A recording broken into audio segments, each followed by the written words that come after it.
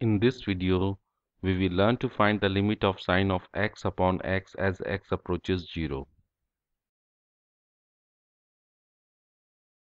Let us assume L is the limit of sine of x upon x as x approaches 0.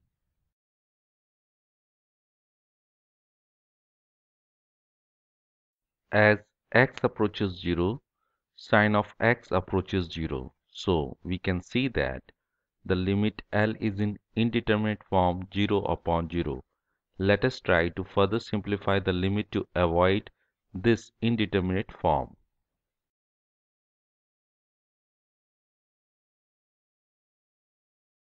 The Taylor series expansion of sine of x near x is equal to 0 is x minus cube of x upon factorial of 3 plus x raised to the power of 5 upon factorial of 5 minus x raised to the power of 7 upon factorial of 7 plus so on.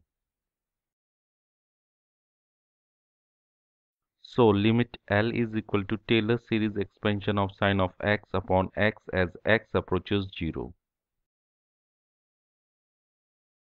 Here I have taken common factor x out in the numerator expression of the limit.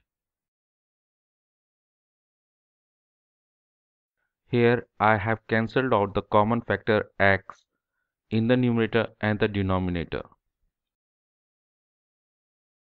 As the limit is a polynomial which is continuous at every point of real number, so let us plug 0 for x.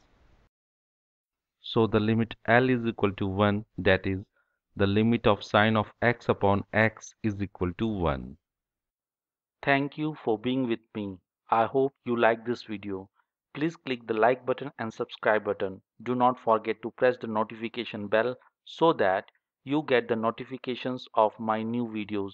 Share the video and do write in the comments. I am eager to listen to your thoughts.